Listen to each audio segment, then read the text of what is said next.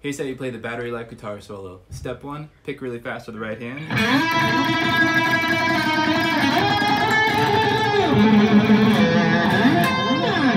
Step two, pick really fast on the high string like this.